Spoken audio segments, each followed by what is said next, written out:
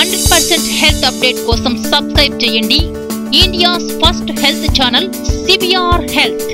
అలాగే like and share చేయండి. Good evening welcome to doctor stock live ప్రపంచవ్యాప్తంగా October నెలంతా కూడా బ్రెస్ట్ క్యాన్సర్ అవేర్నెస్ మంత్గా జరుపుకుంటున్నారు. ఈ సందర్భంగా ఇవాళ సివియర్ హెల్త్ స్టూడియోలో లైవ్లో పాల్గొనేందుకు ఎంఎన్జే క్యాన్సర్ హాస్పిటల్ నుంచి విచ్చేశారు మెడికల్ ఆంకాలజిస్ట్ ప్రముఖ డాక్టర్ సంజీవ కుమారి గారు. వారిని అడిగి మరిన్ని విషయాలు తెలుసుకుందాం. ప్రేక్షకులు బ్రెస్ట్ క్యాన్సర్ అలాగే ఇతర క్యాన్సర్స్ మీద మీ- మీకున్న సందేహాలను నివృత్తి చేసుకునేందుకు స్క్రీన్ పైన స్క్రాల్ అవుతున్న లైఫ్కి కాల్ చేసి మీ సమస్యలకు పరిష్కార మార్గాలు తెలుసుకోండి. హలో డాక్టర్ గారు నమస్కారం మేడం. నమస్కారం. నమస్కారం. డాక్టర్ గారు ఈ మంత్ అంతా చూసుకుంటే బ్రెస్ట్ అవేర్నెస్ మంత్గా జరుపుకుంటున్నారు కదా. అసలు స్త్రీలలో ఎక్కువగా వచ్చే క్యాన్సర్స్లో బ్రెస్ట్ క్యాన్సర్ ఒకటని విన్నాం. ఇది నిజమేనా మేడం? మాటికి నిజమేనండి. అంతకుముందు అంటే టోటల్గా వచ్చే క్యాన్సర్లలో స్త్రీలకు పర్టికులర్గా గర్భాశయ ముఖద్వారం క్యాన్సర్ చాలా ఎక్కువగా వచ్చేది.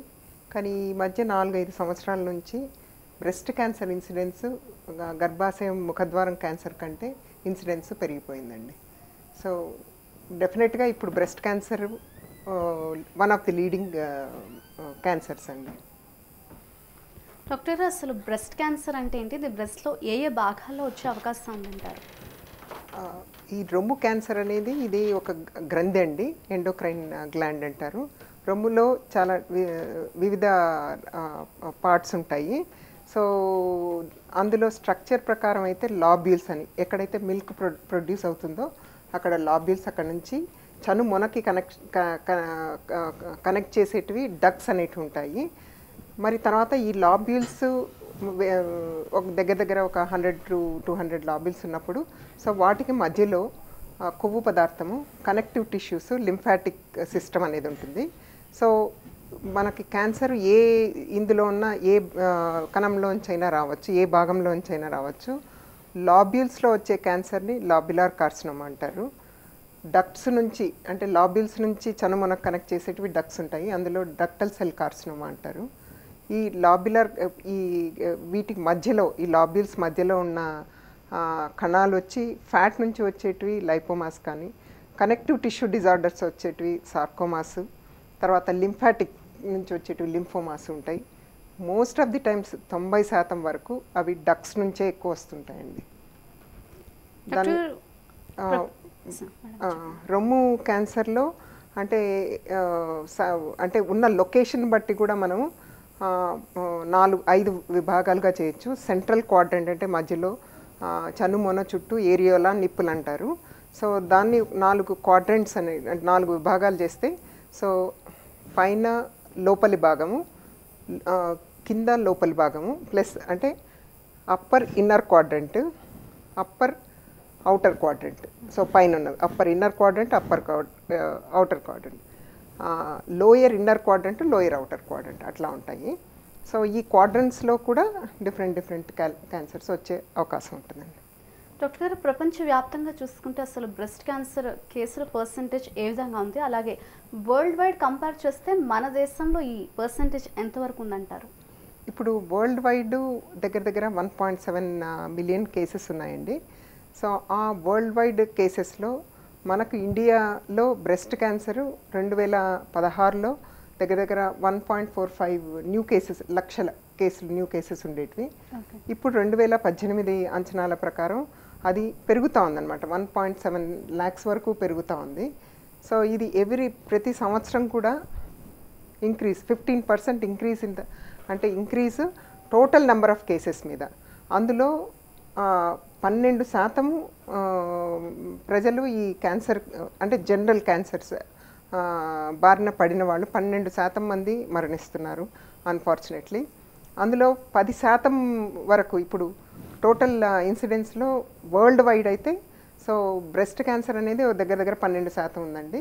సో మన ఇండియాలో అన్ఫార్చునేట్లీ అది మెయిన్ బ్రెస్ట్ క్యాన్సర్ అంతకుముందు డెవలప్డ్ కంట్రీస్లో ఉండేది. ఇప్పుడు మనకి ఇండియాలో almost fourteen percent breast cancers ఉన్నాయి. అంటే లేడీస్లో ఇండియాలో లేడీస్లో వచ్చే క్యాన్సర్స్లో ఆల్మోస్ట్ ఇప్పుడు నలుగురు లేడీ విమెన్లో క్యాన్సర్ లేడీస్లో క్యాన్సర్ ఉందనుకోండి అందులో ఒకరు బ్రెస్ట్ క్యాన్సర్ పేషెంట్స్ ఉంటారనమాట almost twenty five percent of the women క్యాన్సర్స్లో breast cancer అనేది ఒకటండి. డాక్టర్ గారు బ్రెస్ట్ క్యాన్సర్ అనేది ఎక్కువగా ఏ ఏజ్ వారిలో వచ్చే అవకాశం ఉంది మేడం?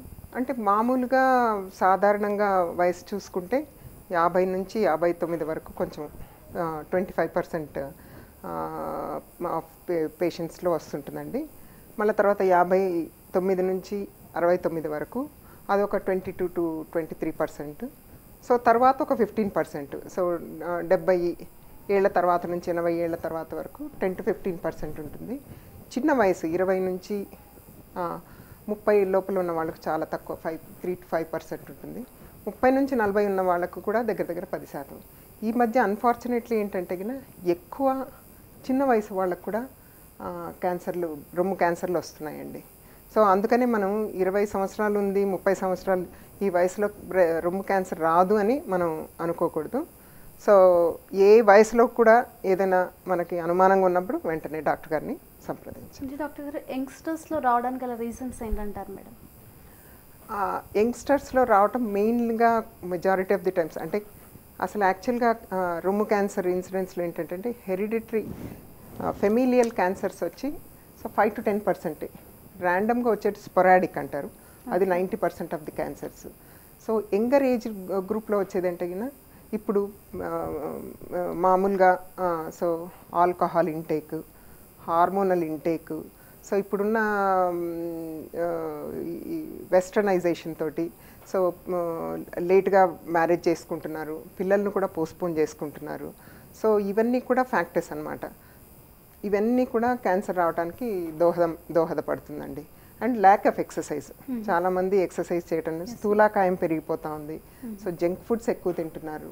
లాట్ ఆఫ్ అన్నిటికీ మనకి తినే ఆహారంలో కూడా అడల్ట్రేషన్ అనేది ఉంది.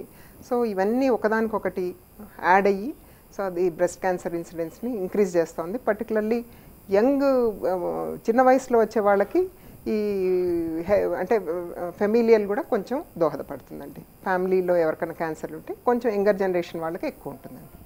డాక్టర్ గారు అసలు బ్రెస్ట్ క్యాన్సర్లో ఎన్ని స్టేజెస్ ఉన్నాయో అలాగే మీ ప్రాక్టీస్లో మీరు ఎటువంటి స్టేజ్ కేసెస్ని చూస్తూ ఉంటారు?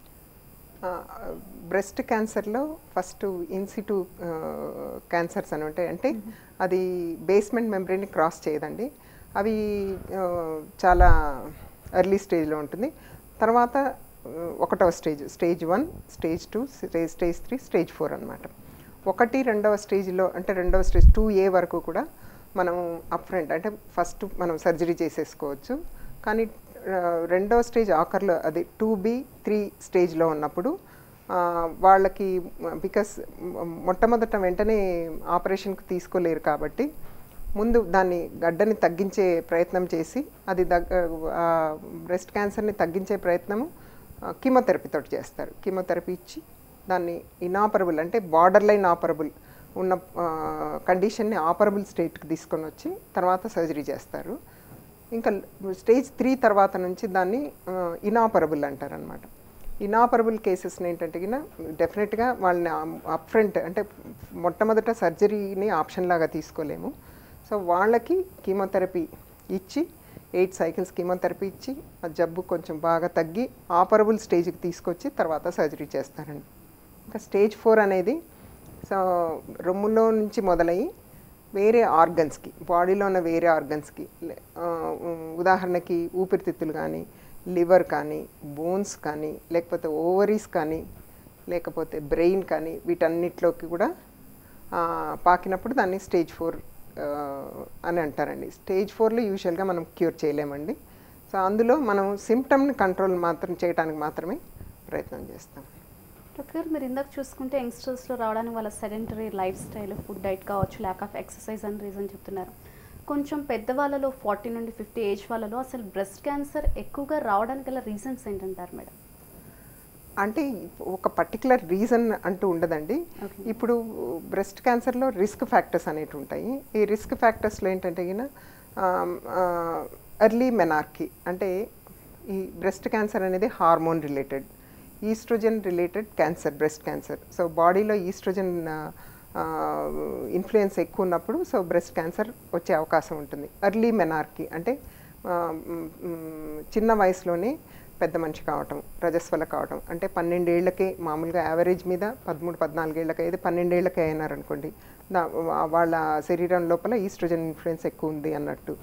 లేట్ మెనోపాజ్ మామూలుగా బహిష్టులు ఆగిపోవటం యాభై ఏళ్ళకి ఆగిపోతాయి. కొంతమందికి యాభై ఐదేళ్ళ వరకు కూడా ఆగదనమాట సో యాభై ఐదేళ్ళ వరకు ఆగని వాళ్ళకి అంటే నా హార్మోన్ ఇన్ఫ్లుయెన్స్ ఎక్కువ ఉంటుంది కాబట్టి వాళ్ళలో కూడా వచ్చే ఛాన్సులు ఉంటాయి ఎల్డర్లీ ప్రైమీ అంటే ఫస్ట్ ప్రెగ్నెన్సీ థర్టీ ఇయర్స్ తర్వాత ప్లాన్ చేసుకున్న వాళ్ళకి థర్ట్ వాళ్ళ వాళ్ళలో కూడా ఈ క్యాన్సర్లు వచ్చే రిస్క్ ఉంటుందండి. Breastfeeding breastfeeding is a protective factor అనమాట అది మనకు క్యాన్సర్ రాకుండా బ్రెస్ట్ క్యాన్సర్ రాకుండా ఉండటానికి కొంచెం మనకి ప్రొటెక్షన్ ఇస్తుంది. ఇది కాకుండా hormonal hormonal replacement therapies like OCP pills periods postpone చేయడానికి ఈ మధ్య ఈ మధ్య కాలంలో ఓరల్ కాంట్రాసెప్టివ్ పిల్స్ ఎక్కువ వాడుతున్నారు. దాంతోపాటు ఇన్ఫర్టిలిటీ అంటే పిల్లలు కాకపో కాక కాకపోయినప్పుడు సో ఇన్ఫర్టిలిటీ ట్రీట్మెంట్ తీసుకున్నప్పుడు చాలా హార్మోన్స్ అక్కడ వాడతారు. సో వాటితో కూడా. ప్లస్ మెనోపాజల్ స్టేట్ వచ్చినప్పుడు హార్మోన్ రీప్లేస్మెంట్ థెరపీ అనేది ఉంటుంది. సో ఇవన్నీ వాడినప్పుడు ఇవన్నీ అన్నీ కలుపుకొని సో డెఫినెట్గా బ్రెస్ట్ క్యాన్సర్ రిస్క్ని ఇంక్రీజ్ చేస్తుందండి. డాక్టర్ గారు ఒక పర్సన్కి బ్రెస్ట్ క్యాన్సర్ వచ్చిందని ఎర్లీగా సిమ్టమ్స్ ఏ విధంగా తెలుస్తాయి అలాగే క్యాన్సర్ వచ్చిన ఎంత డ్యూరేషన్ లోపల వాళ్ళకి ఈ సిమ్టమ్స్ తెలిసే అవకాశం ఉందంటారు మేడం? మామూలుగా అంటే చిన్న బ్రెస్ట్ క్యాన్సర్ అనేది మామూలుగా అందరికీ కూడా తెలిసిన విషయం ఏంటంటే నొప్పి లేకుండా ఉంటుంది. నొప్పి పెయిన్లెస్ స్వెల్లింగ్ అంటారు అనమాట రొమ్ములో ఎక్కడైనా గడ్డ ఉన్నప్పుడు సో ఆ పెయిన్లెస్ స్వెల్లింగ్ అది రాను రాను పెద్దగా అవుతుంది. ఆ పెద్దగైనప్పుడు దాంతో నొప్పి మొదలవుతుంది.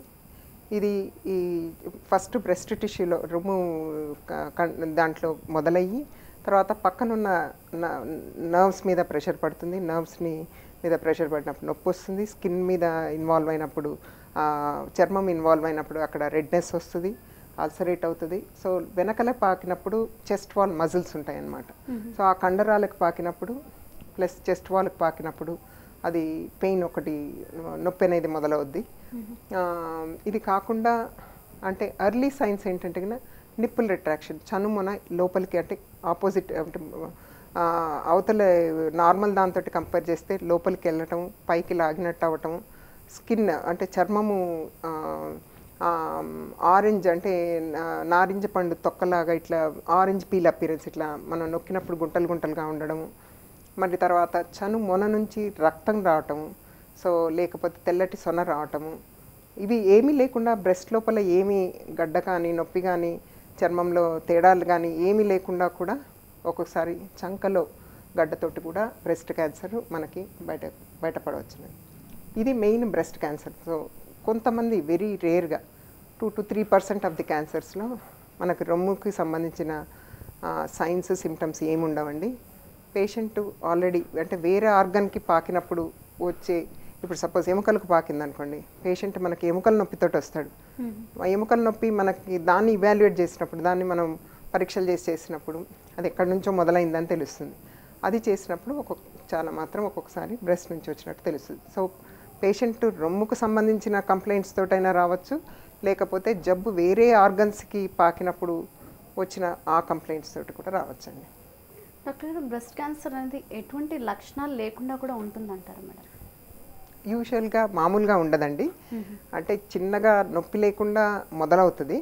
సో తర్వాత రాను రాను దాన్ని అశ్రద్ధ చేసామనుకోండి అది పెరిగి దాంతో కంప్లైంట్స్ అనేటివి అంటే అది ఎక్కడికెక్కడికి పాకింది ఆ లోకల్గా ఎక్కడెక్కడ వాటికి ఇన్వాల్వ్ అయింది. దాన్ని బట్టి కంప్లైంట్స్ వస్తూ ఉంటాయండి. డాక్టర్ గారు బ్రెస్ట్ క్యాన్సర్ అనేది ఎంత డ్యూరేషన్లో డిసీజ్ లాగా డెవలప్ అయి బయటపడుతుందంటారు మేడం? మామూలుగా అంటే ఒక కణం నుంచి అది డబుల్ కావడానికి చాలా టైం పడుతుందండి బ్రెస్ట్ క్యాన్సర్లో సో చిన్న సెల్ నుంచి పెద్ద ట్యూమర్ లాగా రావడానికి అంటే శాస్త్రజ్ఞులు చెప్పింది ఏంటంటే it takes at least two years అని చెప్తారు. కాకపోతే లోపల చిన్న గడ్డ నుంచి అంటే వన్ సెంటీమీటర్ గడ్డ నుంచి మనకు చేతికి తగిలే గడ్డ రావడానికి అట్లీస్ట్ యూజువల్గా మేము అబ్జర్వ్ చేసింది ఫోర్ టు సిక్స్ మంత్స్ పడుతుందండి. డాక్టర్ బ్రెస్ట్ క్యాన్సర్ అనేది ఫ్యామిలీలో ఎవరికన్నా ఉంటే ఫ్యూచర్ జనరేషన్ వాళ్ళకి వచ్చే అవకాశం ఉందంటారు? అది ఇంతకుముందు మీకు చెప్పినట్టు most of the cases ninety percent of the cases స్పొరాడిక్గా వస్తాయండి. Five to ten percent of the కేసెసే family ఉన్న ఫ్యామిలీలో ఉన్న వాళ్ళకి వస్తుందండి. సో అందుకని అంటే ఫ్యామిలీలో ఎవరికైనా రూమ్లో గడ్డ వచ్చినప్పుడు మా ఫ్యామిలీలో ఎవరికి లేదు కాబట్టి నాది క్యాన్సర్ అయి అయి ఉండదని అనుకోవటానికి లేదు. They need to see the doctor ఇప్పుడు సపోజ్ ఫ్యామిలీలో ఒక మెంబర్కి వచ్చింది అనుకోండి సో ఫ్యామిలీలో ఒక మెంబర్కి వచ్చినప్పుడు అవి బ్రాకా జీన్స్ అని ఉంటాయన్నమాట. జెనెటిక్ మ్యూటేషన్ తోటి. So breast related cancer antigen BRCA genes అంటే. వన్ అండ్ టూ అని ఉంటాయి. సో వన్ అంటే మనం ఇప్పుడు ఫ్యామిలీలో ఇప్పుడు మదర్కి కానీ ఎవరికైనా క్యాన్సర్ ఉందనుకోండి మళ్ళీ నెక్స్ట్ జనరేషన్కి వస్తుంది మళ్ళీ పిల్లలకి వస్తుందా లేదా వీళ్ళకి కూడా ట్రీట్మెంట్ రిలేటెడ్ ట్రీట్మెంట్ గురించి ఉపయోగపడడానికి బ్రాకా జీన్స్ టెస్టింగ్ చేయాలి. అట్లా ఇంట్లో ఉన్న పెద్దవాళ్ళకి వచ్చిన వాళ్ళకి ప్లస్ వాళ్ళ సిబ్లింగ్స్కి. అంటే ఇప్పుడు సపోజ్ ఒక సిస్టర్కి వచ్చిందండి వాళ్ళ మిగతా అక్క చెల్లెలకి చేసుకోవాలి. వాళ్ళకి డాటర్ ఉంటే వాళ్ళ డాటర్కి చేసుకోవాలి. సో బ్రాకా జీన్స్ పాజిటివ్ ఉంటే వాళ్ళకి కొంచెం మిగతా వాళ్ళకంటే బ్రాకా వన్ ఉంటే ఇప్పుడు సపోజ్ మిగతా వాళ్ళకి వన్ ఇన్ ఎయిట్ ఛాన్స్ ఉందనుకోండి వీళ్ళకి ఒక టూ టైమ్స్ మోర్ ఛాన్సెస్ ఉంటాయి అన్నమాట అదే ఫ్యామిలీలో ఇద్దరికి ఉందనుకోండి అప్పుడు నాలుగు శాతం ఎక్కువ ఉంటుంది. సో ఇప్పుడు ఈ బ్రాకా జీన్స్ పాజిటివ్ ఉన్న వాళ్ళకి వాళ్ళకి రొమ్ము క్యాన్సర్ వచ్చినప్పుడు సో ఓవరీ క్యాన్సర్ కూడా రావచ్చు. సో దాంతో రిలేటెడ్ అదర్ క్యాన్సర్స్ కూడా లైక్ కోలాన్ క్యాన్సర్స్ సో ఇవి ప్యాంక్రియాటిక్ క్యాన్సర్స్ ఇవి కూడా వచ్చే రిస్క్ ఉంటుందండి డాక్టర్ గారు ఒక పర్సన్కి బ్రెస్ట్ క్యాన్సర్ వచ్చిందని మెడికల్ పరంగా ఎటువంటి నిర్ధారణ పరీక్షలు చేసి తెలుసుకోవచ్చు అంటారు ఎవరైనా కూడా రొమ్ములో ఏదైనా గడ్డ వచ్చినప్పుడు ఏదైనా నొప్పి ఉన్నప్పుడు ఒక్కొక్కసారి అంటే నొప్పి గడ్డ ఇవన్నీ సిమ్టమ్స్ కూడా ఒక మనిషి తీరును బట్టి ఉంటుందన్నమాట. ఇప్పుడు గడ్డ చిన్నగా కొంతమందికి రొమ్ము సైజు చిన్నగా ఉందనుకోండి చిన్న సైజులోనే వాళ్ళు డాక్టర్ గారి దగ్గరికి వచ్చేస్తారు. ఒకవేళ బాగా పెండిలస్ బ్రెస్ ఉన్నారనుకోండి అవి మరీ పెద్దగా ఇంతవరకు మనకి చేతికి తగలవు కంప్లైంట్స్ కూడా రావన్నమాట. సో ఇప్పుడు ఈ గడ్డ వచ్చినప్పుడు వెంటనే డాక్టర్ గారి దగ్గరికి వస్తే సో డాక్టర్ గారు పరీక్ష చేసి అనుమానంగా ఉంటుంది. హండ్రెడ్ పర్సెంట్ మనం క్లినికల్ ఎగ్జామినేషన్ తోటి hundred percent symptoms clinical examination తోటి మనం హండ్రెడ్ పర్సెంట్ క్యాన్సర్ అని చెప్పలేము దీనికి కన్ఫర్మేటరీ టెస్ట్ ఉంటాయి. అసలు క్యాన్సర్ అను అనుమానం ఉందా లేదా అనేది ఇంకా కొన్ని టెస్టులు చేస్తారనమాట అల్ట్రాసౌండ్ అనేది ఉంటుంది. సోనో మ్యామోగ్రామ్ అంటే అల్ట్రాసౌండ్ టెస్ట్ తోటి బ్రెస్ట్ యాక్సిలా అంటే చంకాలో గడ్డలు ఉన్నాయా లేదా చూసి చెక్ చేస్తారు. అన్నీ అసలు twenty to twenty five percent of the case swellings మనకు చేతికి తగలవండి. సో తగిలినప్పుడు డెఫినెట్గా అవి అల్ట్రాసౌండ్ కూడా మనకు చేతికి తగలనేటు కూడా twenty to twenty five percent ultrasound pick up pick up చేస్తుంది. ఒక్కొక్క టెస్ట్ ఒక్కొక్క పరీక్షకి అడ్వాంటేజ్ ఉంటుందన్నమాట. సో అల్ట్రాసౌండ్ తోటి ఏంటంటే దీంట్లో ఇది గడ్డలాగుందా? లోపల అంతా ట్యూమరే ఉందా? లేకపోతే వాటర్ ఉందా? లేకపోతే బ్లడ్ ఉందా? తెలుస్తుంది అల్ట్రాసౌండ్ తోటి. సో వాటర్ ఉందనుకోండి అది ఇన్ఫెక్షన్ కావచ్చు. పస్ ఉందనుకోండి ఇన్ఫెక్షన్ కావచ్చు. సో దాన్ని మనం డిఫరెన్షియేట్ చేసుకోవచ్చు. సో పస్సు వాటర్ ఉందనుకోండి దాన్ని సూది పరీక్ష చేసి దాన్ని తీసి పరీక్షకు పంపిస్తారు. అంటే సూది పరీక్ష ఎఫ్ఎన్ఏసి అంటారు. Fine needle aspiration cytology. ఆ సూది పరీక్ష చేసినప్పుడు కొన్ని కణాలు మాత్రమే వస్తాయి. ఆ కణాలని ఇది క్యాన్సరా కాదా అని తెలుస్తుంది అనమాట సో గడ్డలాగున్న ఫ్లూయిడ్ ఉన్న ఏదైనా తీసి పరీక్షకు పంపిస్తాం గడ్డలాగుందనుకోండి దాన్ని ఈ సూది పరీక్షతో క్యాన్సరా కాదా? ఇది రొమ్ములో నుంచి వచ్చిందా? రొమ్ములో కూడా ఏ టైప్ ఆఫ్ క్యాన్సర్? లేదు వేరే చోట నుంచి రొమ్ముకు కూడా పాకే ఛాన్సులు ఉంటాయి. సో ఆ క్యాన్సరా అని తెలియటానికి కోర్ నీడిల్ బయాప్సీ అంటారు. అంటే కొంచెం పెద్ద టిష్యూ తీసి పరీక్షకు పంపించాలి. ఆ పెద్ద టిష్యూ తీసి పరీక్షకు పంపిస్తే దాంతో మనకి ఇది క్యాన్సర్. క్యాన్సర్లో కూడా డిఫరెంట్ రొమ్ములో క్యా రొమ్ము క్యాన్సర్లో డిఫరెంట్ డిఫరెంట్ ఉంటాయి. మీకు ఇంతకుముందు చెప్పినట్టు lobular cancer ductal cancer sarcomas తర్వాత మెలనోమా అంటే కొన్ని ఇవి rare type of cancers melanomas lymphomas plus ఇవి కాకుండా కూడా వాటి లోపల మాలిక్యులర్ స్టడీస్ అని చేస్తారు. ఇప్పుడు అంతా టార్గెటెడ్ థెరపీ అండి. సో మాలిక్యులర్ స్టడీస్ చేసి ఈ క్యాన్సర్లో బికాస్ మీకు ఇంతకుముందు చెప్పినట్టు బ్రెస్ట్ క్యాన్సర్ అనేది హార్మోన్ రిలేటెడ్. సో ఇందులో హార్మోన్స్ ఏమేమి సెక్రెట్ అవుతున్నాయి? ఈస్ట్రోజన్ రిసెప్టార్స్ ప్రొజెస్ట్రాన్ రిసెప్టార్స్ తర్వాత హర్ టు న్యూ అనేది ఒకటి ఎపిడర్మల్ గ్రోత్ ఫ్యాక్టర్స్ అని ఉంటాయి అన్నమాట సో ఇవన్నీ పాజిటివ్ ఈఆర్ అంటే ఎపిడర్ ఈస్ట్రోజన్ రిసెప్టార్ పాజిటివ్ ఉందనుకుంటే దానికి సెపరేట్ డ్రగ్ ఉంటుందన్నమాట. ప్రొజెస్ట్రాన్ రిసెప్టార్ పాజిటివ్ ఉందనుకుంటే దానికి సెపరేట్ డ్రగ్ ఉంటుంది. హర్ టు న్యూ ఉందనుకోండి ఇవి తెలియకుండా మనం ఊరికే అందాజుగా మనం వైద్యం చేస్తే మందులు పనిచేయి ఊరికే దాంతో money waste finances waste plus at the same time A chemotherapy కూడా ఏ ట్రీట్మెంట్ కూడా దానికి సైడ్ ఎఫెక్ట్స్ అనేవి ఉంటాయి. సో మనం మాలిక్యులర్ సబ్ టైప్ చేసుకోవడానికి కన్ఫర్మేషన్ బయాప్సీ పెద్ద టిష్యూ తీసి మనం బయాప్సీకి పంపించాల్సి ఉంది. ఇది మనకి గైడ్ చేస్తుంది. సో ఈ టైప్ ఆఫ్ క్యాన్సర్ ఇది దీని ప్రోగ్నోసిస్ కూడా అంటే ఈ టైప్ ఆఫ్ క్యాన్సర్ కాబట్టి దీంతో మనం ఇలా ట్రీట్ చేస్తే ఈమెకి రిస్క్ ఉండదు. సో ఫ్యూచర్లో కూడా బాగుంటుంది. లేదు ఈ టైప్ టీఎన్బీసీ అంటారు అంటే ఆల్ నెగిటివ్ మీకు చెప్పినట్టు ఈస్ట్రోజన్ రిసెప్టార్ ప్రొసెస్ట్రాన్ రిసెప్టార్ హట్టు మూడు నెగిటివ్ ఉంటాయన్నమాట. అట్లాంటప్పుడు వాళ్ళకి కొంచెం aggressive tumour so that will be mentally prepared so వాళ్ళకి కౌన్సిలింగ్ చేసి సో ఇది మనకు ముందుగానే మనకి ప్రోగ్నోసిస్ ఈ జబ్బు ఇలా రియాక్ట్ అవుతుందని తెలిసిందాం అనుకున్నాం మనము ప్రిపేర్డ్గా ఉంటాము పేషెంట్ ప్రిపేర్డ్గా ఉంచి క్లోజ్ ఫాలోఅప్లో పెట్టుకుంటామండి. ఏమి సిమ్టమ్ సైన్ తర్వాత వచ్చినా కూడా మనం దాన్ని ఇవాల్యుయేట్ చేసుకుంటాం. సో ఇది biopsy fine needle aspiration cytology తర్వాత కన్ఫర్మేషన్ బయాప్సీ తర్వాత స్టేజింగ్ వర్కప్ అని ఉంటుందన్నమాట. అంటే ఇప్పుడు రొమ్ము గడ్డలో క్యాన్సరా కాదా? ఏం type of cancer molecular sub type తెలిసింది. కాకపోతే ఇది ఏ స్టేజ్లో ఉన్నది? ఒకటో స్టేజ్ రెండో స్టేజ్లో ఉంటే ఆపరేషన్ చేసేయచ్చు. అసలు ఒకటో స్టేజ్ రెండో స్టేజ్లో ఉందంటే స్టేజింగ్ చేయడానికి వర్కప్ చేయాలి. వర్కప్ లైక్ ఎక్స్రే చెస్ట్ ఛాతీ ఫోటో టీవీ పరీక్ష అంటే అల్ట్రాసౌండ్ అబ్డమిన్ అండ్ పెల్విస్ లివర్లో ఏమైనా పాకిందా పొట్టలో నీళ్ళు ఉన్నాయా ఓవరీస్ సైజ్ ఎలా ఉంది ఓవరీస్కి ఏమైనా పాకుందా ఇవన్నీ తెలుసుకోవడానికి అల్ట్రాసౌండ్ అబ్డమిన్ అండ్ పెల్విస్ చేస్తారు. ఊపిరితిత్తుల కోసం ఎక్స్రే చెస్ట్ చేస్తారు. ఒకవేళ పేషెంట్కి మూడో స్టేజ్లో ఉన్న మూడో స్టేజ్లో ఉన్న వాళ్ళకి వేరే చోటికి పాకే ఛాన్సులు ఎక్కువ ఉంటాయి. సో అందుకని వాళ్ళకి టెస్ట్లు ఎక్కువ చేస్తారు. సో బోన్ స్కాన్ చేస్తారు వాళ్ళకి. అవసరమైతే ఎంఆర్ఐ చేస్తారు. ఇవన్నీ చేసిన తర్వాత ఇప్పుడు ఇవాళ రేపు ఇప్పుడు లేటెస్ట్ అడ్వాన్స్ వస్తే ఏంటంటే ఒక్కొక్క ఆర్గన్కి ఒక్కొక్క test CT scan chest CT scan abdomen అట్లా కాకుండా పెట్ స్కాన్ అనేది వచ్చిందనమాట సో పెట్ స్కాన్ అనేది హోల్ బాడీ సో ఆ స్కానింగ్ చేస్తే రేడియో యాక్టివ్ ఐసోటోప్ ఒకటి ఇంజెక్ట్ చేస్తారు. అది పోయి ఎక్కడెక్కడ ఉన్నాయో అక్కడ అప్టేక్ ఎక్కువ ఉంటుంది క్యాన్సర్ సెల్స్ దగ్గర. అది అప్టేక్ ఉన్నప్పుడు ఎక్కడెక్కడ ఉన్నదో ఒక టెస్ట్ తోటి మనకు వేరే చోట ఎక్కడ ఉన్నది? లేకపోతే లంగ్కి సిటీ చెస్ట్ చేయాలి బోన్స్కి బోన్ స్కాన్ చేసుకోవాలి అట్లా కాకుండా. సో పెట్ స్కాన్ తోటి తెలుస్తుంది. కానీ అది కొంచెం కాస్ట్లీ అండి. కాకపోతే ఇది దేనికి కూడా గైడ్ లైన్స్ అనేవి ఉంటాయి. సో పేషెంట్ ఇట్లా రొమ్ము క్యాన్సర్ ఉంది ఒకటో స్టేజ్లో ఉంది చూడటానికి ఒకటో స్టేజ్లో ఉంది వాటికి పెట్ స్కాన్ చేయాలనేది కాదు. ఇట్ ఈస్ అన్ ఆప్షనల్ అంటే అవసరం ఉన్నప్పుడు ఆ పెట్ స్కాన్ అనేది యూజ్ చేసుకోవాలి. ఎనీ ఇన్వెస్టిగేషన్ హండ్రెడ్ పర్సెంట్ కాదండి. We need to correlate everything so ఇవన్నీ స్టేజింగ్ వర్కప్ అయితే మనకి ఎక్కడికెక్కడ పాకింది. సో దాన్ని బట్టి స్టేజ్ వన్నా స్టేజ్ టూనా త్రీనా ఫోర్ డిసైడ్ అవుతుంది. దాన్ని బట్టి వైద్యం కూడా మనకి ప్లాన్ చేసుకోవచ్చు. కాలర్ లైన్ ఉన్నారు వాడితో మాట్లాడతాం. హలో? హలో? కాల్ కనెక్ట్ అయింది? మాట్లాడండి. హలో? హలో? హలో. చెప్పండి మేడం. నమస్కారం అండి. మీ పేరు ఎక్కడి నుంచి మాట్లాడుతున్నారండి? మీ పేరండి? హలో వినిపిస్తుంది మేడం చెప్పండి మేడం. మీ పేరు చెప్పండి ముందుగా.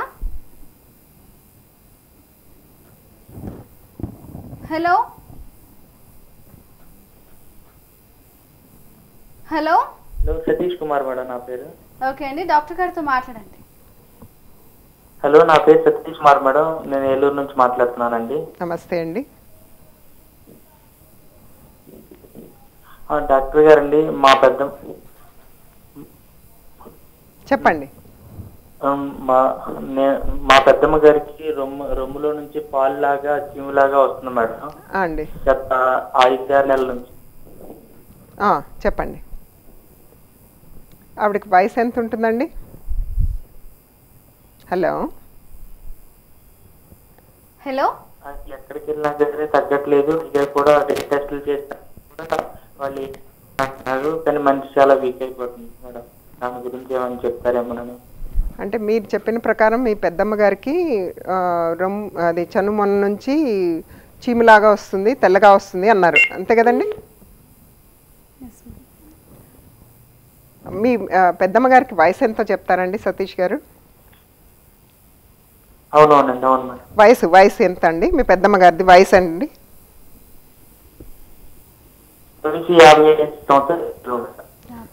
యాభై ఐదు ఉన్నాయా. అవునవును మేడం. అంటే మీరు డాక్టర్ గారికి సంప్రదించారా డాక్టర్ గారిని? డాక్టర్ అంటే కొంచెం ఎవరికి ఎలా తెలియదు మేడం మాకు.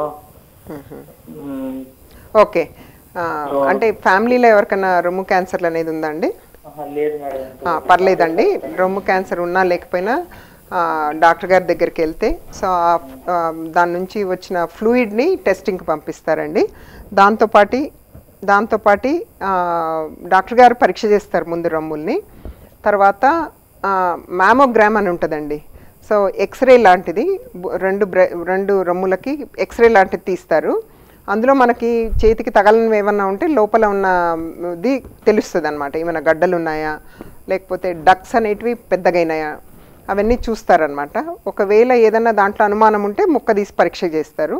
ఆ ముక్క తీసి పరీక్ష చేస్తే మనకి తెలుస్తుంది అనమాట చాలా మాత్రం ఆ నీరు ఆ పస్సు వచ్చినవి యూజువల్గా ఇన్ఫెక్షనే ఉంటుందండి. కానీ మనం హండ్రెడ్ పర్సెంట్ నిర్ధారణ చేసుకోవాలంటే మాత్రం పరీక్ష చేయాలండి. అది సైటాలజీ పెతా సైటాలజీ అంటే ఆ లిక్విడ్ స్లైడ్ మీద వేసి పెథాలజిస్ట్కి ఇవ్వాలి. అవసరమైతే మ్యామోగ్రామ్లో ఏదైనా డౌట్ఫుల్ ఉన్నప్పుడు బయాప్సీ తీసి ముక్క పరీక్షకు పంపిస్తే దాన్ని బట్టి తెలుస్తుందండి. చాలా మాత్రం అంటే ఇన్ఫెక్షనా లేకపోతే ఈ క్యాన్సరా అనేది నిర్ధారణ చేసుకోవడం చాలా ముఖ్యమండి. సో ఇన్ఫెక్షన్ అయితే ట్రీట్మెంట్ యాంటీబయాటిక్స్ ఇస్తే తగ్గిపోతుంది.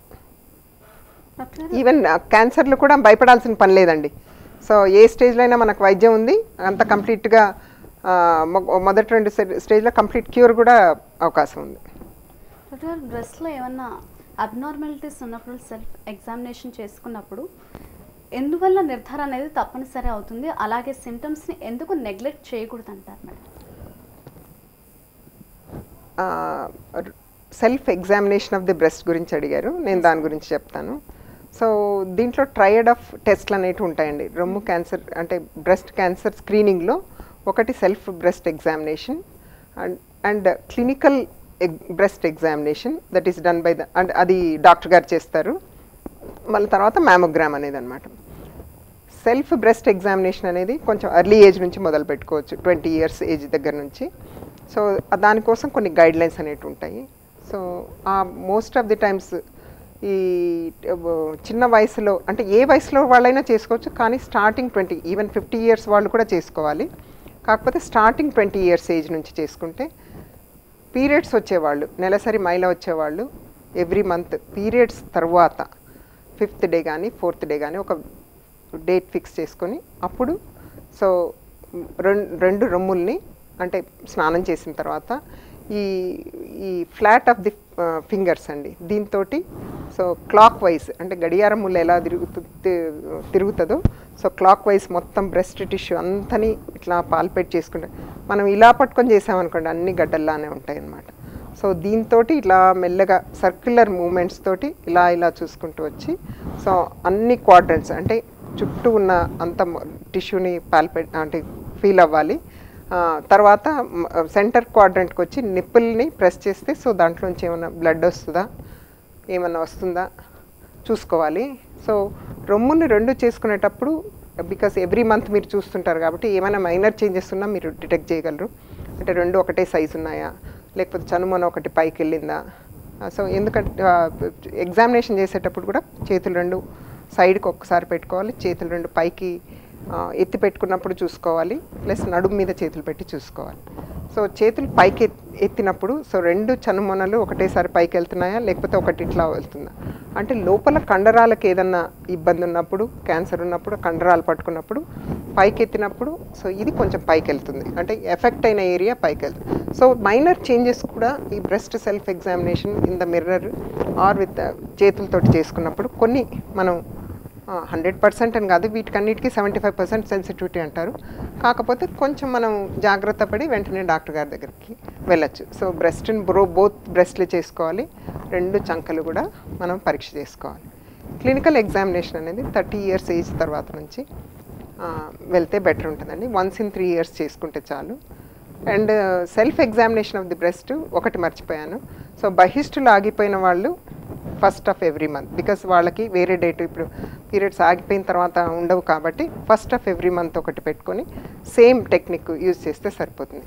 ఎందుకు పీరియడ్స్ వచ్చేవాళ్ళు ఐదో రోజు చేసుకోవాలంటే పీరియడ్స్ రాకముందు హార్మోనల్ చేంజెస్ తోటి బ్రెస్ట్ అంతా స్వెల్లింగ్ ఉన్నట్టు ఉంటుంది సో టెండర్నెస్ అంటే మనం ముట్టుకుంటే పెయిన్ ఉంటుంది అనమాట సో ఈ హార్మోనల్ ఇన్ఫ్లుయెన్స్ అయిపోయిన తర్వాత ఐదో రోజు చేసుకుంటే బెటర్ ఈ క్లినికల్ ఎగ్జామినేషన్ అనేది థర్టీ ఇయర్స్ తర్వాత నుంచి చేసుకోవాలి. వన్స్ ఇన్ త్రీ ఇయర్స్ ఏదైనా మధ్యలో సస్పిషన్ ఉందనుకోండి వన్స్ ఇన్ సిక్స్ మంత్స్ కూడా వెళ్ళచ్చు. ఈ మ్యామోగ్రామ్ అనేది మామూలుగా గైడ్లైన్స్ ప్రకారం ఫార్టీ ఇయర్స్ అంటే fifty year forty years age నుంచి చేసుకోవాలి mammogram once in a year high risk ఉన్న వాళ్ళకి వన్స్ ఇన్ ఏ ఇయర్ చేసుకోవాలి. కాకపోతే ఈ ఫ్యామిలీ హిస్టరీ ఉన్న వాళ్ళకి లేకపోతే ఆల్రెడీ ఆ పేషెంట్కే ఇంకొక రూములో వచ్చిన వాళ్ళకి ఒక పది సంవత్సరాల ముందు నుంచి మొదలు పెట్టుకోవాలి. సో ఓవే- ఆ ఫ్యామిలీలో ఎవరికన్నా ఓవేరియన్ క్యాన్సర్ ఉంది కోలాన్ క్యాన్సర్ ఉంది వాళ్ళు ఒక పది సంవత్సరాలు అంటే ముప్పై సంవత్సరాల ఏజ్ నుంచి మొదలు పెట్టుకోవాలి. నలభై సంవత్సరాల ఏజ్ నుంచి మ్యామోగ్రామ్ చేసుకోవాలి. సో ఒక త్రీ ఫస్ట్ ఇనీషియల్గా వన్స్ ఇన్ వన్ ఇయర్ చేసుకోవాలి ఫార్టీ టు ఫిఫ్టీ ఇయర్స్ వరకు. సో ఫిఫ్టీ నుంచి తర్వాత నుంచి వన్స్ ఇన్ టూ ఇయర్స్ చేసుకోవచ్చు. సో లైఫ్ స్పాన్ను బట్టి ఇప్పుడు ten years more than ten years ఉంటే ఫ్రీక్వెంట్గా రెగ్యులర్గా చేసుకోవాలి. సెవెంటీ ఇయర్స్ తర్వాత దాటిన వాళ్ళకి ఏదైనా కంప్లైంట్ ఉన్నప్పుడు అంటే రెగ్యులర్గా వన్స్ ఇన్ టూ ఇయర్స్ చేసుకున్న అవసరం వాళ్ళకి ఎప్పుడు అవసరం ఉంటే అప్పుడు చేసుకోవచ్చు. డాక్టర్ బ్రెస్ట్ క్యాన్సర్ అనేది కంతుల రూపంలో బయటపడుతుందా? లేకపోతే కంతుల రూపం కాకుండా కూడా బయటపడే అవకాశం ఉందంటారు బ్రెస్ట్ క్యాన్సర్ అని? డాక్టర్ గారు బ్రెస్ట్ క్యాన్సర్ అనేది కంతుల రూపంలో బయటపడుతుంది అంటారు చెప్పండి మేడం. చాలా మాత్రం ninety percent of the times breast cancer యూజువల్గా గడ్డలానే ఉంటుందండి. ఫస్ట్ పెయిన్లెస్గా మొదలవుతుంది నొప్పి లేకుండా మొదలవుతుంది తర్వాత పెయిన్ తోటి మొదలవుతుంది.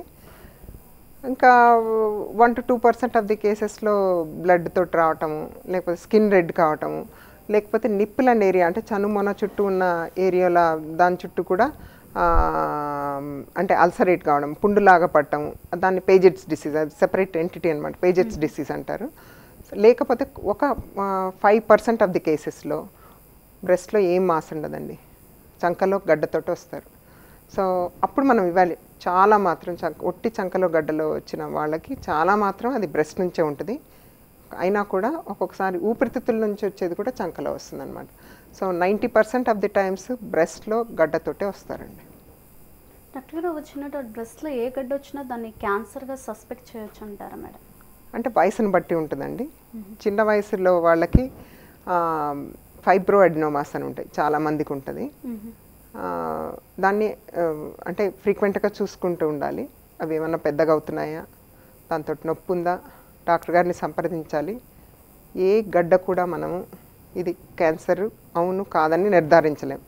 సో డాక్టర్ గారి దగ్గరికి వెళ్ళాలి. వాళ్ళు వాళ్ళు పరీక్ష చేస్తారు. తర్వాత మ్యామోగ్రామ్ చేస్తారు. మ్యామోగ్రామ్లో కూడా మ్యామోగ్రామ్లో కూడా మనకి కొన్ని ఇండికేషన్స్ ఉంటాయి.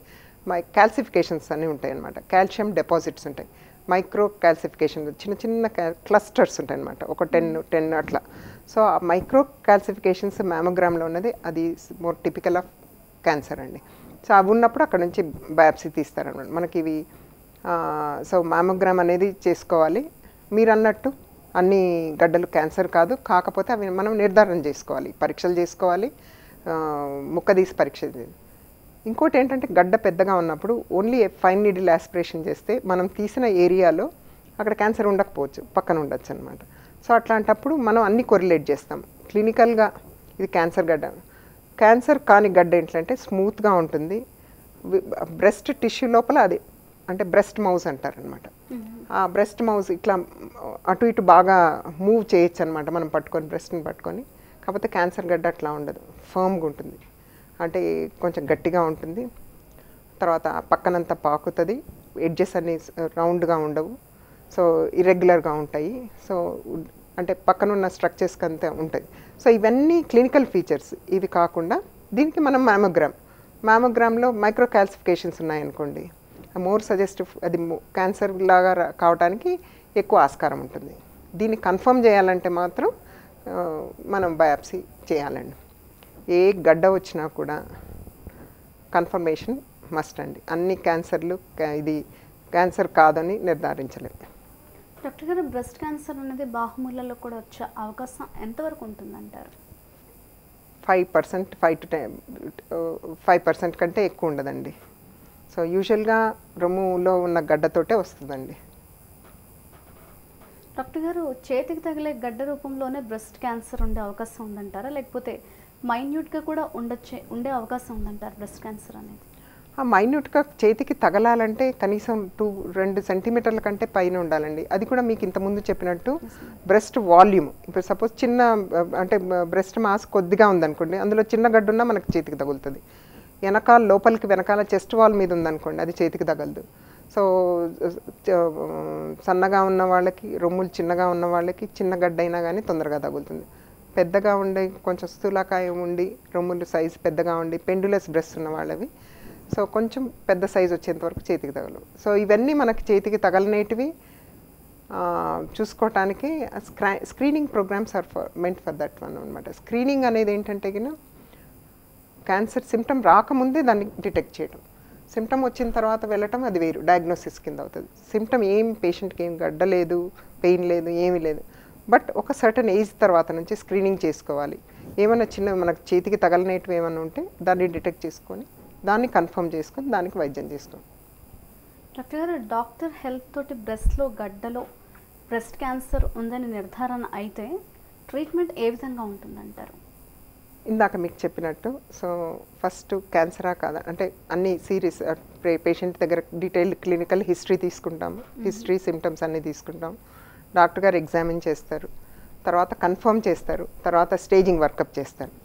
Stage one and two stage two A వరకు అది అప్ ఫ్రంట్ అంటే ముందే సర్జరీకి వెళ్ళిపోవచ్చు సర్జరీ చేసేస్తారు.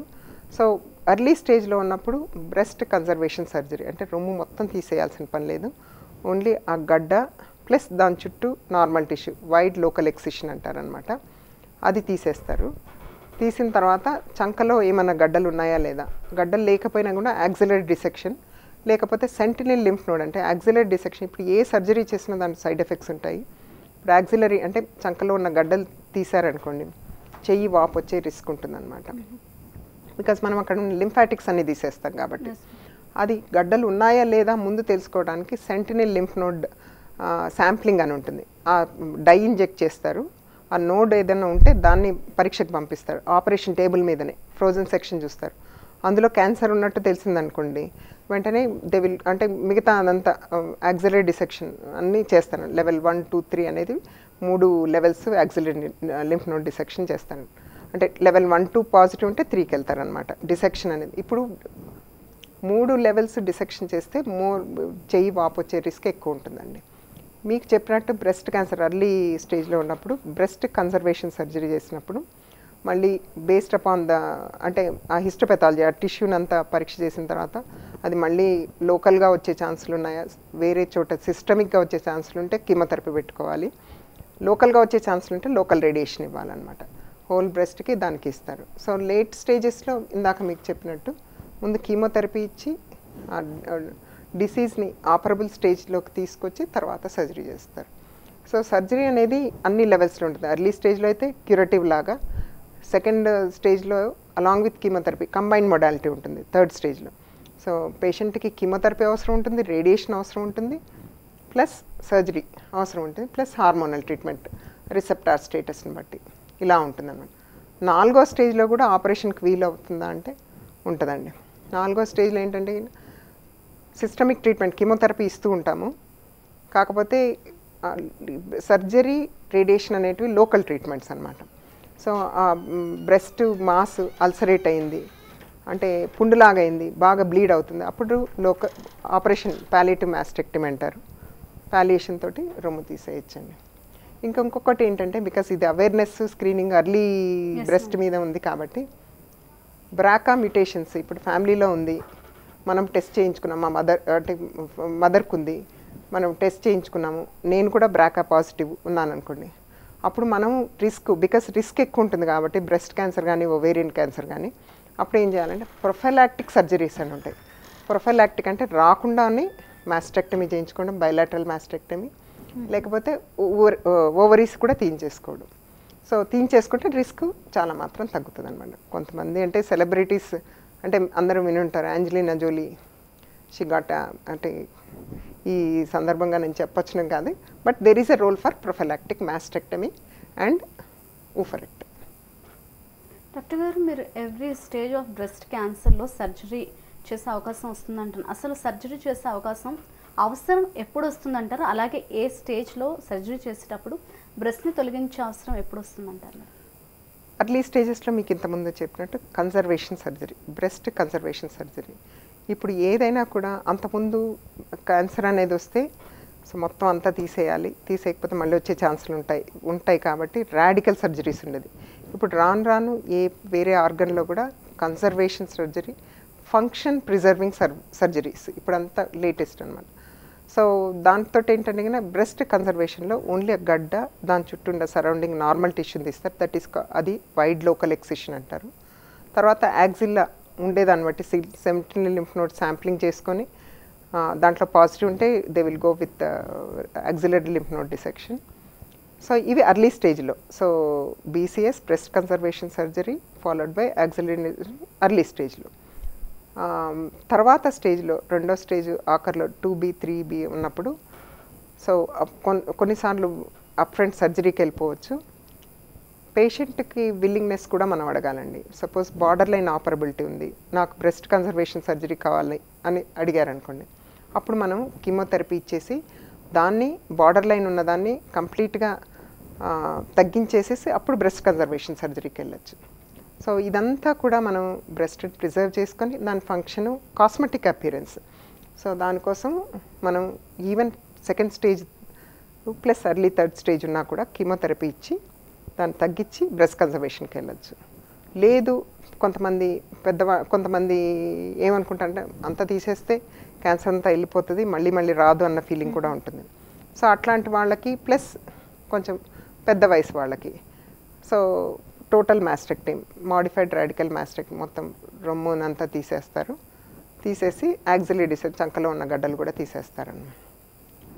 పెద్ద వయసు వాళ్ళకి ఇప్పుడు ఎనభై సంవత్సరాలు ఉన్నాయి ఆమెకి వాళ్ళకి ఒక ఐదు సెంటీమీటర్ లీషన్ ఉంది. నాలుగు సెంటీమీటర్ల గడ్డ ఉంది. అది ఉన్నప్పుడు ఇప్పుడు చిన్న వయసులో వాళ్ళకైతే వాళ్ళకి కన్జర్వేషన్ సర్జరీ చేస్తాం. పెద్దవాళ్ళకి అనుకోండి కన్జర్వేషన్ సర్జరీ చేస్తే మనం రేడియేషన్ ఇవ్వాలి. పెద్దవాళ్ళకి అనుకోండి మళ్ళీ రేడియేషన్ ఇవ్వకుండా వాళ్ళకి దాంతో టాక్సిసిటీ కూడా ఎక్కువ ఉంటుంది కాబట్టి మొత్తం వాళ్ళకి బికాస్ డెబ్బై ఏళ్ళకి వాళ్ళకి కాస్మెటిక్ పెద్ద ఇది ఉండదు. Plus at the same time we can avoid radiation to certain extent so అట్లాంటి వాళ్ళకి సో టోటల్ మాస్టెక్టమీ చేసేసి హార్మోన్స్ పాజిటివ్ ఉంటే హార్మోన్స్ మీద పెట్టేసుకుంటారు. నాకు ఒక చిన్న డౌట్ అసలు బ్రెస్ట్ క్యాన్సర్ అనేది ఒక బ్రెస్ట్కి వచ్చి ట్రీట్మెంట్ తీసుకొని క్యాన్సర్ పోయాక మళ్ళీ ఫ్యూచర్లో ఇంకో బ్రెస్ట్కి వచ్చే అవకాశం ఉందంటారు మీరు ఉంటుందండి. అది ఇంక ఆ incidence point seven five percent every year ఉంటుంది. ఒక రొమ్ములో వచ్చిన వాళ్ళకి అవతల రొమ్ములో వచ్చే ఛాన్సులు కూడా ఉంటాయండి. సో అందుకని బ్రెస్ట్ క్యాన్సర్ ఎప్పుడు కూడా మనం కంప్లీట్ క్యూర్ అని చెప్పలేం. ఫాలోఅప్ కూడా మిగతా cancer head and neck cancer two years రాలేదనుకోండి almost sixty to seventy percent of the times ఇంకా మళ్ళీ వచ్చే ఛాన్సులు ఉండవు. బ్రెస్ట్ క్యాన్సర్లో అది ఫైవ్ ఇయర్స్ వరకు పెట్టుకుంటాం. సో ఫైవ్ ఇయర్స్ దాటిన తర్వాత రిస్క్ తగ్గుతుంది. కాకపోతే అట్ ఎనీ టైం ఆపోజిట్లో బ్రెస్ట్లో రావచ్చు ఉన్న బ్రెస్ట్లో రావచ్చు. సో ఫాలోఅప్ అనేది కొంచెం పకడ్బందీగా చేసుకోవాలి. అసలు ప్రజెంటేషన్లో కూడా బైలాటరల్ బ్రెస్ట్ క్యాన్సర్స్ కూడా రావచ్చు అనమాట ఒకటేసారి రెండు బ్రెస్ట్లో కూడా. క్యాన్సర్స్ వచ్చే ఆస్కారం ఉందండి. డాక్టర్ ఇందాక చూసుకుంటే మీరు కీమోథెరపీ గురించి ఎక్స్ప్లెయిన్ చేస్తున్నారు. కీమోథెరపీ అనేది ఏ స్టేజ్ బ్రెస్ట్ క్యాన్సర్ వరకు ట్రీట్మెంట్ ఇస్తారో అలాగే చాలామంది ఈ కీమోథెరపీ చాలా పెయిన్ఫుల్ చాలా సైడ్ ఎఫెక్ట్స్ ఉంటాయని హెసిటేట్ చేస్తుంటారు భయపడుతుంటారు. అటువంటి వారికి మీరు ఇచ్చే సజెషన్ ఏంటి మేడం కీమోథెరపీ గురించి? ఏ ఏ ట్రీట్మెంట్ కూడా అండి సైడ్ ఎఫెక్ట్స్ అనేది లేకుండా ఉండవు. కాకపోతే మనం ఎప్పుడు కూడా ఆ- స్టేజ్ని బట్టి దాని దానికి వచ్చే బెనిఫిట్ని రిస్క్ని మనం బ్యాలెన్స్ చేసుకోవాలి. ఇప్పుడు మీరు ఇప్పుడు సపోజ్ పేషెంట్ ఎర్లీ స్టేజ్లో ఉంది యంగ్ పేషెంట్ ఉంది. ఆ పేషెంట్ కీమోథెరపీ ఉంది జుట్టు ఊడిపోతుంది అనుకుంటారు వాళ్ళు. సో నీరసపడిపోతారు. అసలు అందరు అందరికీ ఏంటంటే గిన అసలు కీమోథెరపీ తీసుకుంటే ఇంకా ఆల్మోస్ట్ బెడ్ రీడన్ అయిపోతారు అనే అపోహ ఉంది. ఇప్పుడు అలాంటివి ఏం లేదు. కాంప్లికేషన్స్ ఉంటాయి. కాకపోతే ముందు జాగ్రత్తగా. ఇప్పుడు మనకు బ్రెస్ట్కి ఇచ్చే క్యాన్సర్ కీమోథెరపీలో హార్ట్ మీద కూడా ఎఫెక్ట్ ఉంటుందన్నమాట. అందుకనే మేము ముందుగానే హార్ట్ ఫంక్షన్ ఇవాల్యుయేట్ చేస్తాము. చేసుకొని ఆ హార్ట్ ఫంక్షన్ నార్మల్గా ఉందా? నార్మల్గా ఉంటే ఈ మందుకు వెళ్ళొచ్చు అబ్ నార్మల్గా ఉంటే వేరే హార్ట్కి టాక్సిసిటీ లేని డ్రగ్స్ అట్లా చూస్ చేసుకుంటాం అనమాట సో కీమోథెరపీ అనేది అన్ని స్టేజ్లో కూడా ఉంటుందన్నమాట. ఇప్పుడంతా లేటెస్ట్ డెవలప్మెంట్స్ అన్నీ ఉన్నాయి. టార్గెటెడ్ థెరపీస్ కూడా వచ్చినాయి. సో ఇప్పుడు లేటెస్ట్గా టార్గెటెడ్ థెరపీలో ఈఆర్పిఆర్ పాజిటివ్ ఉందనుకోండి. హార్మోన్ థెరపీతో పాటు పాల్బోసిక్లిబ్ అని వచ్చింది. తర్వాత హర్టు ఉన్నదానికి ట్రాస్టిజ్మా. టార్గెటెడ్ కీమోథెరపీ వచ్చిన తర్వాత because we are targeting that particular type of the cells so that అప్పుడు రెస్పాన్స్ బాగుంటుంది. సో పేషెంట్కి కూడా కంట్రోల్ డిసీజ్ కంట్రోల్ అయ్యే ఛాన్సెస్ చాలా బాగుంటుంది. కీమోథెరపీతో అస్సలు భయపడాల్సిన పని లేదు. సైడ్ ఎఫెక్ట్స్ అనేవి ఉంటాయి. సో మనం డాక్టర్ గారు కూడా జాగ్రత్త తీసుకుంటారు. ఎప్పుడు ఏం సైడ్ ఎఫెక్ట్ వస్తే వెంటనే డాక్టర్ గారిని సంప్రదించాలి. ఇన్ఫెక్షన్స్ ప్రోన్ ఉంటారు కాబట్టి అవన్నీ ముందుగానే ప్రఫిలాక్ట్గా ఏది అవాయిడ్ చేయాలి ఏది అవాయిడ్ చేయకూడదు అని ఉంటుంది కాబట్టి డెఫినెట్గా కీమోథెరపీ తోటి భయం అనేది ఏమి ఉండక్కర్లేదు. ఇవన్నీ హెయిర్ లాస్ ఇవన్నీ టెంపరీ అండి. తర్వాత కిమోథెరపీ అయిపోయిన తర్వాత మళ్ళీ మీకున్న మీకు ఉన్న ఒరిజినల్ జుట్టు వచ్చేస్తుంది. మనకు డిసీజ్ కంట్రోల్ కావాలి. Life is important not the other things doctor గారు మీరు ఇందాక చూసుకుంటే మ్యామోగ్రఫీ టెస్ట్ గురించి చెప్పారు కదా. అసలు ఈ మ్యామోగ్రఫీ టెస్ట్ ఏ ఏజ్ స్త్రీలో చేయించుకోవాలంటారు? ఎంత టైం డ్యూరేషన్లో ఎంత గ్యాప్ ఇచ్చి చేయించుకోవాలంటారు ఈ టెస్ట్ అనేది? మ్యామోగ్రఫీ అనేది సోనో మ్యామోగ్రఫీ అని చెప్పాను. అల్ట్రాసౌండ్తో చేసేదని సోనో మ్యామోగ్రఫీ అంటారు. సో ఎక్స్రేస్ తోటి చేసేదాన్ని డిజిటల్ మ్యామోగ్రఫీ అంటారు. సో సోనో మ్యామోగ్రామ్లో మీకు చెప్పడం ఏంటంటే దాంట్లో వాటర్ ఉందా సిస్ట్ ఉందా లేకపోతే సాలిడ్ ఉందా? ప్లస్ చంకలో గడ్డలు కూడా ఉన్నాయా లేదా? ఆ గడ్డలు కూడా అవి క్యాన్సర్ లాగా ఉన్నాయి ఇన్ఫెక్షన్లతో ఉందా అనేది కొన్ని వాటికి కొన్ని పారామీటర్స్ ఉన్నాయన్నమాట. వాటితో పాటు మనకి టు సర్టన్ ఎక్స్టెంట్ అంటే కొంతవరకు మనకు సమాచారం వస్తుంది. ఇప్పుడు డిజిటల్ మ్యామోగ్రామ్ ఉందనుకోండి డిజిటల్ మ్యామోగ్రామ్లో మనకి ఎక్స్రేస్ తోటి డిఫరెంట్ వ్యూస్ తీస్తారనమాట. పైనుంచి కింద వరకు. That is called cranio caudal oblique views చేస్తారు. సో ఆబ్లిక్ వ్యూస్ చేసినప్పుడు చెస్ట్ వాల్కి ఎంత క్లోజ్గా ఉంది? యాక్సిలాలో ఎంత ఉంది? సో ఇవన్నీ చేస్తారనమాట. మీరు అడిగినట్టు ఎంత ఇంటర్వెల్లో చేయాలి అన్నట్టు చెప్పారు. యూజువల్గా ఫార్టీ ఇయర్స్ అబవ్ ఏజ్ నుంచి మ్యామోగ్రామ్ వన్స్ ఇన్ ఇయర్ చేసుకోవాలండి. తర్వాత ఫిఫ్టీ ఇయర్స్ దాటిన తర్వాత వన్స్ ఇన్ టూ ఇయర్స్ చేసుకోవచ్చు. తర్వాత కొంచెం సిక్స్టీ సెవెంటీ ఉన్న తర్వాత డిపెండింగ్ అపాన్ ద రిస్క్ వాళ్ళకి కొంచెం ఫ్రీక్వెన్సీ తగ్గించవచ్చు హై రిస్క్ ఉన్న వాళ్ళకి అంటే ఫ్యామిలీ హిస్టరీ ఉంది వేరే క్యాన్సర్లు ఉన్నాయి వాళ్ళకి ఒక పది సంవత్సరాలు ఇప్పుడు నలభై కంటే మామూలు వాళ్ళకి నలభైకి చేస్తే వీళ్ళకి ముప్పై ఏళ్ళ నుంచి స్టార్ట్ చేసుకోవాలి. డాక్టర్ గారు బ్రెస్ట్ క్యాన్సర్ రాకుండా ప్రతి స్త్రీ ఎట్ ముందుగా ఎటువంటి జాగ్రత్తలు తీసుకోవాలంటారు? కొన్ని మీకు రిస్క్ ఫ్యాక్టర్స్ చెప్పాను కదా. సో ఆ రిస్క్ ఫ్యాక్టర్స్లో కొన్ని అవాయిడబుల్ ఉన్నాయి. మనం అవి ప్రివెంట్ చేస్తే హండ్రెడ్ పర్సెంట్ మనం బ్రెస్ట్ క్యాన్సర్ రాకుండా నివారణ చేయలేము. టు సర్టన్ ఎక్స్టెంట్ ఒక కొన్ని కొన్ని రిస్క్ ఫ్యాక్టర్స్ మనం తగ్గించుకోగలిగితే ఆ రిస్క్ పర్సంటేజ్ని కూడా మనం తగ్గించుకునే ఛాన్స్ ఉంటుందండి. ఇంతకుముందు నేను అన్నట్టు so hormones so hormones use జుడిషియస్గా use చేయాలి. అంటే ఇఫ్ ఇట్ ఈస్ నెససరీ అవసరం ఉన్నప్పుడే వాడుకోవాలి. ప్రెగ్నెన్సీ పోస్ట్పోన్ చేసుకోవడానికి పీరియడ్స్ పోస్ట్పోన్ చేసుకోవడానికి వీ కెన్ ఫైండ్ అంటే దానికి ఆల్టర్నేటివ్ మనం ఆలోచించుకోవచ్చు. తర్వాత ఇన్ఫర్టిలిటీ ట్రీట్మెంట్స్ ఏదున్నా కానీ కొంచెం రిస్క్ తక్కువ ఉన్నవి డాక్టర్ గారితో డిస్కస్ చేసి అది చేసుకోవచ్చు. పోస్ట్ అంటే హార్మోన్స్ గురించి మాట్లాడుతున్నప్పుడు పోస్ట్ మెనపాజల్ అంటే ఆ, బహిష్లో ఆగిపోయిన వాళ్ళు కూడా వేరే other means unless hormone deficiency తోటి మరీ ప్రాబ్లం వస్తున్నప్పుడే దానిలోకి వెళ్ళాలి. Alcohol intake so alcohol major risk factor ఇప్పుడు అర్బనైజేషన్ తోటి ఈవెన్ ఫీమేల్స్ కూడా ఆల్కహాల్ తీసుకుంటున్నారు. సో ఆల్కహాల్ తోటి ఏమంటుందంటే ఫ్యాట్ డిపాజిషన్ బాడీలో ఎక్కువైపోతుంది. ఫ్యాట్ డిపాజిషన్ బాడీలో ఎక్కువైతే అది పెరిఫెరల్గా ఈస్ట్రోజెన్స్ లాగా కన్వర్ట్ కన్వర్ట్ అవుతుంది. మనకి ఇందాక చెప్పినట్టు ఈస్ట్రోజెన్స్ మన బాడీలో ఎంత ఎక్కువైతే అంత రిస్క్ ఎక్కువైతుంది. సో ఆల్కహాల్ తగ్గించుకోవాలి.